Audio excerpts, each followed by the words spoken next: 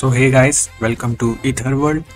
Now we will learn how to create a second account in our existing MetaMask wallet.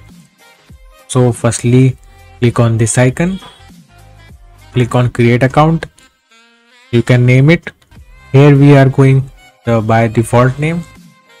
So your new account is created. You can check it. Account 1 has a different address than account 2. So that's all. We'll learn how to change name of your MetaMask account.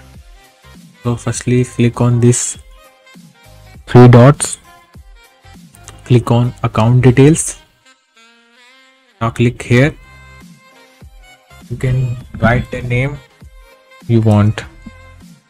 Press enter and your name is saved. So that's all. Thank you